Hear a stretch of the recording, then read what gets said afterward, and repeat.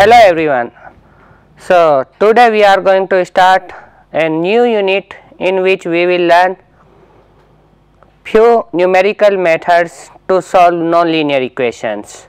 So first of all what is a nonlinear equation? So one of the most frequent problem in real life and engineering is to find the roots of a nonlinear equation fx equals to 0.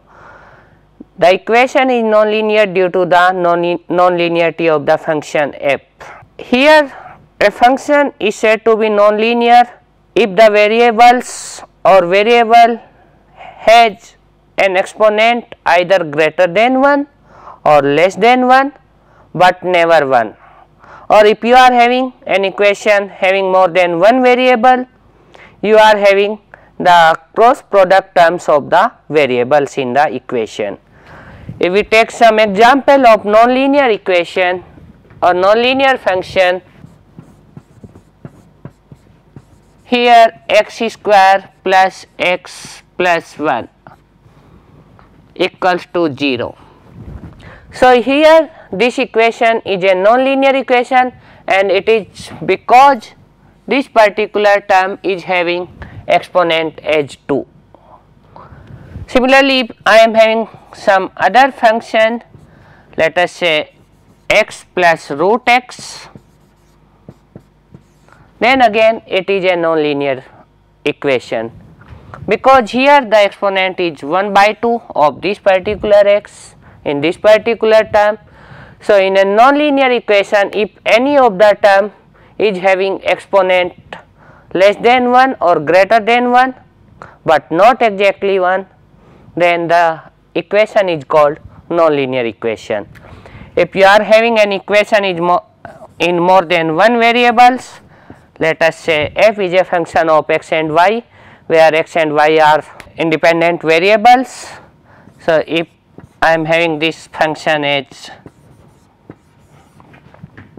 x y equals to 0. So, here you can see this term is linear, this term is linear, but here we are having separately x and y having exponent 1, but if we take their product this particular function becomes non-linear. So, in next few lectures we will learn how to solve these nonlinear equations. Now, what we mean by the solution of a nonlinear equation? So, given a nonlinear function f, we seek a value of x for which f is 0. Such a, solution value for x is called a root of the equation and a 0 of the function f. An example of a nonlinear equation in one variable if you take f equals to x square minus 4 sin x equals to 0 and if I see the graph of this function it can be clearly seen that the function is 0 when x is 0 and another point when x is near to 1.9. So, hence this particular equation is having two roots one is 0 another one is just near to 1.9. So, graphically we can say the solution of a nonlinear equation means we have to find a curve of nonlinear function and we need to see where this particular curve is touching or intersecting x axis. Like we had the system of linear equations in the previous unit, in this unit also we can have system of nonlinear equations. If we have more than one equations in more than one variables then it is called a system of nonlinear equations. For example, if you take these two equations that is first equation is x square plus y square equals to 1 and the second equation is x cube plus x square plus xy minus 1 equals to 0. So, here we are having two equations in two unknown and both the equations are nonlinear in x as well as in y. So, we will learn in the last lecture of this unit that how to solve such a system using some numerical technique. Apart uh, as you seen all these examples which I have given to you are basically algebraic functions. Algebraic functions means they are the polynomials in x or in y. Apart from that we are having another type of nonlinear equation or nonlinear functions those are called transcendental function. So, a function which is not algebraic is a transcendental function they are also referred as non-algebraic functions. For example, if you are having trigonometric term in your function, exponential term, logarithmic term or their combinations. For example, if you see this equation f x equals to x square plus tan x, here this is a trigonometric term in x and hence it is a transcendental function. So, we will learn how to solve or how to find the zeros of such transcendental functions using numerical techniques. Now, given a nonlinear equation, we can have multiple roots. For example, if you take a nonlinear equation f x equals to 0, if it is a linear equation, then it will be having one root. But if it is a quadratic equation means it is a second degree polynomial in x, it will have two roots. If it is a cubic polynomial in x, then the equation will be having 3 roots and so on. It the uh, roots may further be distinct or repeated. For example, if you take a simple function x square minus 4 equals to 0, so, basically this quadratic polynomial is having two roots x equals to plus 2 and minus 2 and both the roots are distinct. But on, on the same time if you take another function let us say x square plus 4 minus 4x basically x minus 2 whole square then the roots are 2 and 2 and hence the two roots but both are uh, same. So, roots are repeated twice. In case, in case of transcendental equation, if we consider an example like twice of sin x minus 1 equals to 0, then if we find a solution of this, it will be something like x equals to sin inverse 1 by 2 and it is coming out pi upon 6 plus minus twice and pi where n equals to 0 1 2. So, you can see that this equation has many roots corresponding to the different values of n. So, using numerical techniques we can find a single root given in a particular interval or more than one roots. For this we are having two types of techniques as I told you one is analytical methods or direct methods like in case of linear equations and the other one is numerical methods. So, direct methods can solve system in finite number of steps and gives an accurate solution. However, there are system of equations which are very time consuming when solving with direct methods or there are number of equations which you cannot solve using the direct method. Hence, we need to re uh, rely on the numerical methods to find out a solution of such equations those are not solvable using direct method. So, numerical methods provide a technique to find an approximate but accurate solution to the system of equations. So, in the next few lectures we are going to discuss following numerical techniques like bisection method which we will cover in this lecture itself. Then in the next lecture we will take secant method and regula falsi method. Then in the third lecture of this unit we will go for Newton-Raphson method. In the fourth lecture of this unit we will discuss about fixed point method and in the last lecture of this unit we will learn how can we solve system of nonlinear equations using these techniques. So, what we mean by numerical solution of a nonlinear equation? So, given a nonlinear equation fx equals to 0 numerical solution means a point we need to find out an approximate x star such that fx star is approximately 0. For this we always assume that f is continuously differentiable and real valued function. Also it is assumed that root of this particular equation fx equals to 0 are isolated. What we mean by isolated root?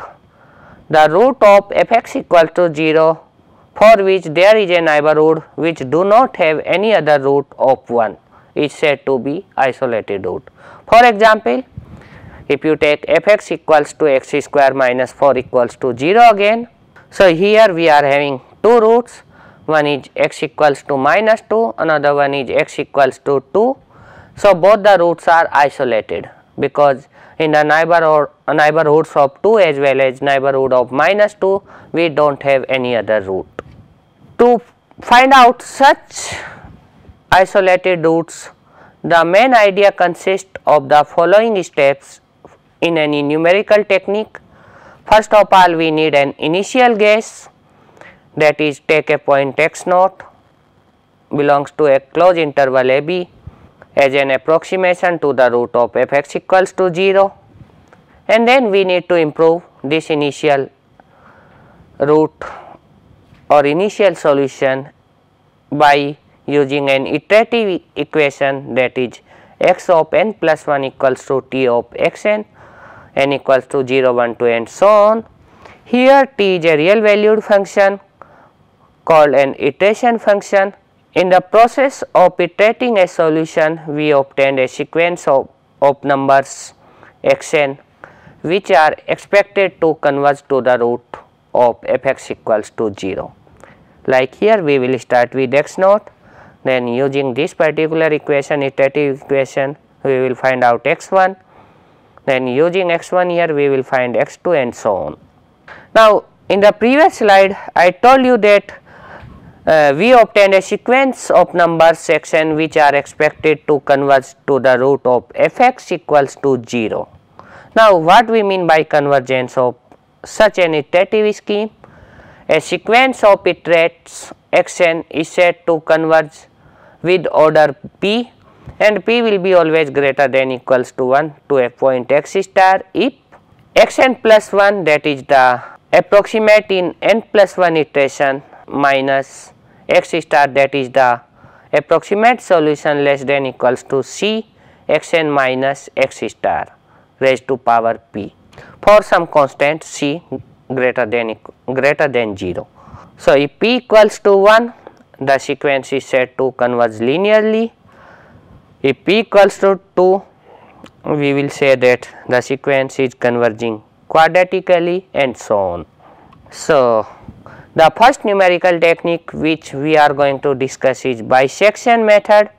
The method is based on intermediate value theorem. So, what this theorem tells us that if f is continuous in a closed interval a to b and k is any number between f a and f b then there exists a c belongs to open interval a b such that f c equals to k. So, if you see this graphics here we are having x on the horizontal axis f x on the vertical axis and this blue curve is showing the graph of f x between A and B.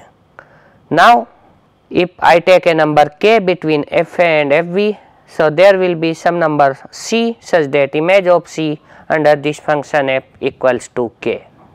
It means if we are having a function f x which is continuous on given interval a b, the function f satisfy the property f a f into f b less than 0 with f a not equals to 0 and f b not equals to 0 that a and b are not root of f then by intermediate value theorem we can see there exists a c or a root between a and b such that f c equals to 0.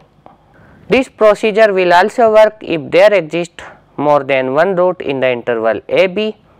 Here we assume that roots in a b is unique just for simplicity this method calls for repeated bisection or subintervals of AB with locating the half containing P at each step.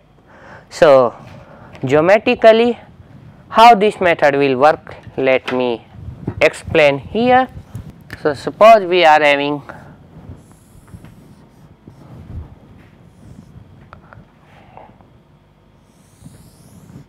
a function like this.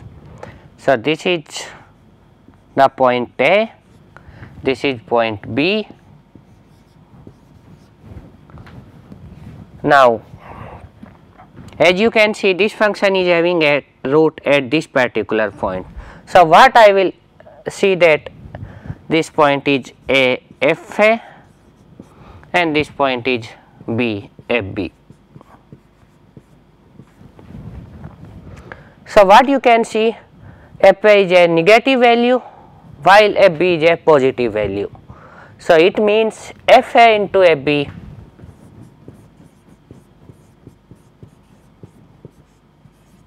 means there is a root between A and B.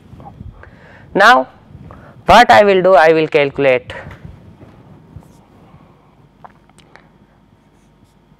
C1 which will be midpoint of A and B. So, if I take the midpoint this interval and B midpoint will be somewhere here.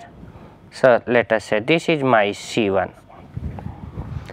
Now, if I check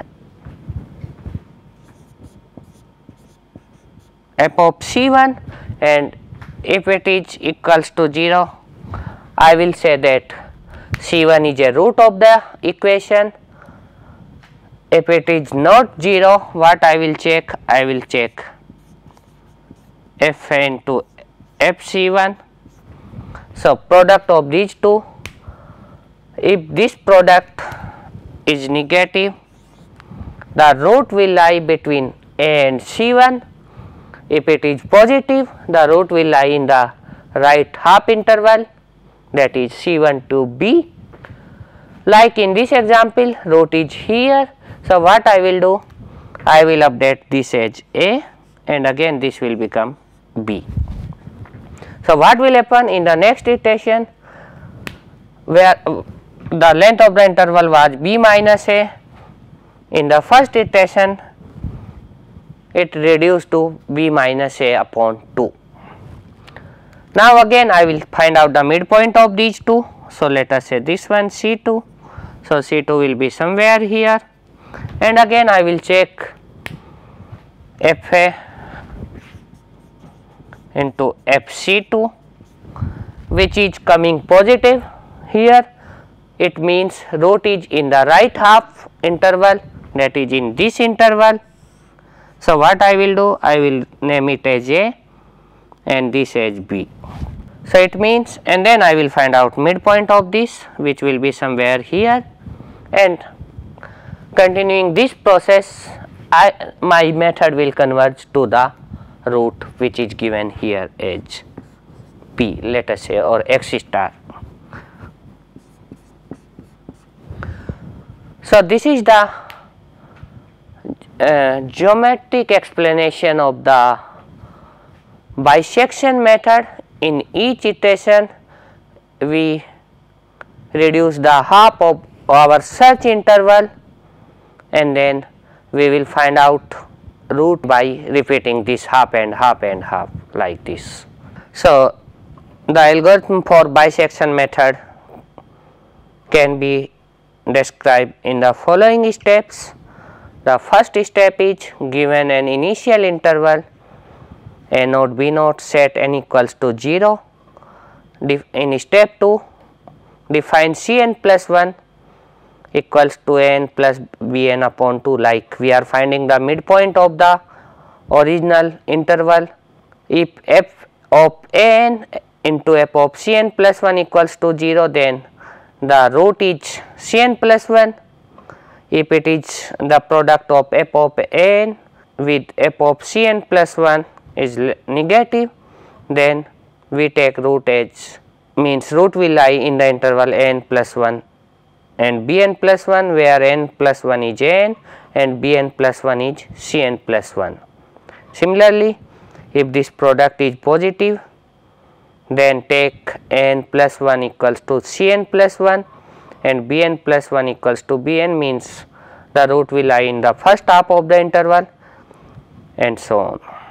Step 4 if the root is not achieved in step 3 then find the length of new reduced interval n plus 1 bn plus 1 if the length of the interval bn plus 1 minus n plus 1 less than a threshold epsilon then take the midpoint of this interval as the root otherwise go to step 2 for the next iterations. So, this is the same which I have described on the board graphically how bisection method works. Now, if we talk about the convergence of this particular method let a naught b naught equals to a b be the initial interval with f a into f less than 0 that is negative.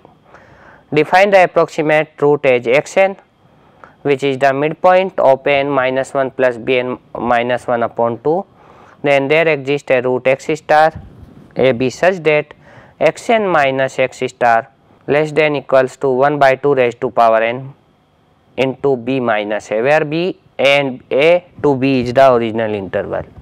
Moreover to achieve the accuracy if it is given that the accuracy should be of order epsilon where epsilon is a small positive number it is sufficient to take b minus a raised to power uh, b minus a upon 2 raised to power n less than equals to epsilon because we need this number less than equals to epsilon for getting the desired accuracy in our numerical solution. So, it is less than equals to epsilon it means if we take the logarithm I can write it n should be greater than equals to log b minus a minus log epsilon upon log 2. So, this particular equation tells us about the number of iterations required to get a given accuracy epsilon.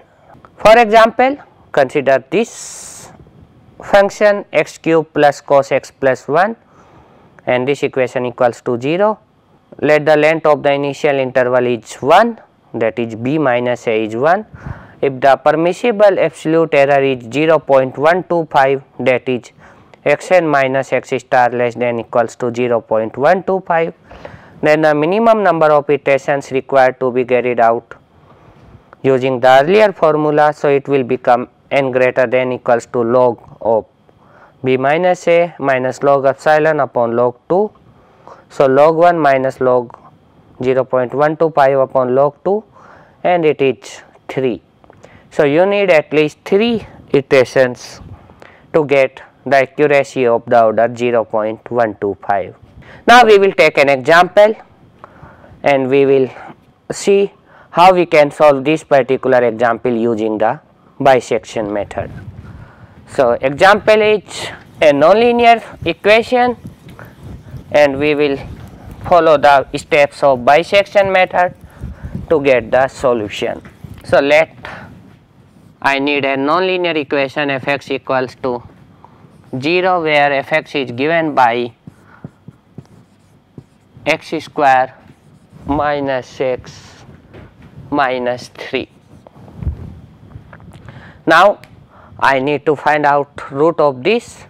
So, if I check f1, f1 comes out to be 1 minus 1 minus 3 as minus 3 and if I check f2, f2 will be negative. If I check f3,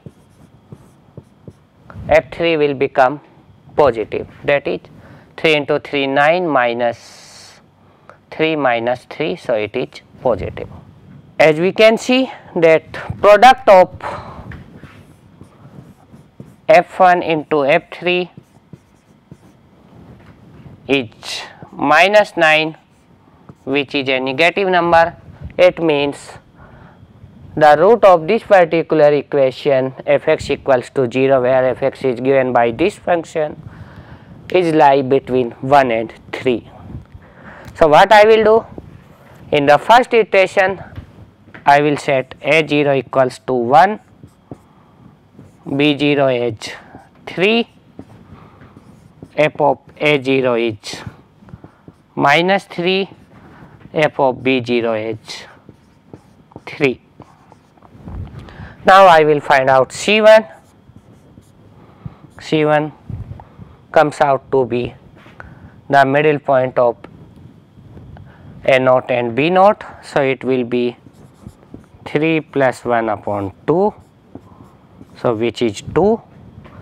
Now, I will check F2. F2 is 4 minus 2 minus 3. So, it is minus 1. So, check here if I take the product of F1 into F2 it is coming out a positive number. Hence, the root lies between 2 to 3 not from 1 to 2. So, it means my A1 becomes 2, B1 becomes 3, FA1 is minus 1 f of b1 is 3. So, if I need to find out an accuracy up to order of the order 10 raised to power minus 3 then the iterations will go like this. In the 11th iterations I will get n as 2.3027, bn as 2.3037 xn is 2.3032 and the value of fx f at this particular number is 0.0016. If I check this xn minus xn minus 1 mean the difference between two consecutive iterations it is coming out to be 0.0005 and hence in the 11th iteration the absolute error is less than 0.001 which is permissible error and the root is accurate to third decimal place. Thus, the root of the equation is 2.303.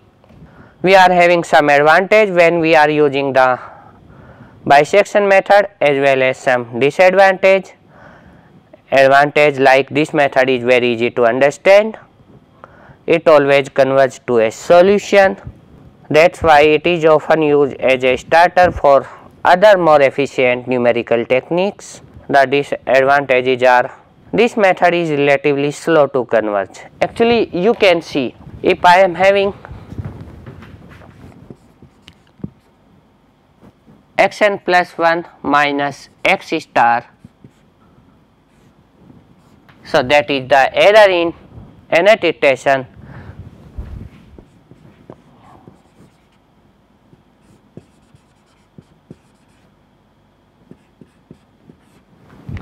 Hence, E n plus 1 less than equals to 1 by 2 E n.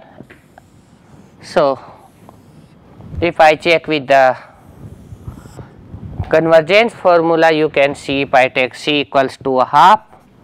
So, this method is having exactly linear convergence and hence this method is quite slow to converge.